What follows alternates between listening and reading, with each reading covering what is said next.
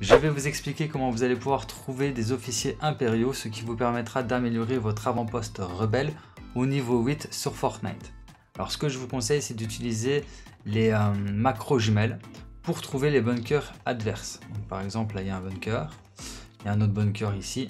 voilà, vous vous servez de vos macros jumelles pour trouver les bunkers les plus proches. Alors ensuite, quand vous êtes à l'entrée du bunker, vous rentrez dedans directement. Hein.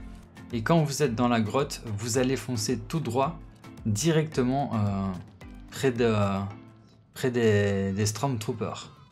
Et normalement, vous devriez avoir un camp, donc voilà, comme le camp devant moi. Et logiquement, près de l'antenne, donc cette antenne-là, il y aura toujours un officier impériaux. Donc regardez, il est juste ici. Donc maintenant, vous avez juste à l'éliminer.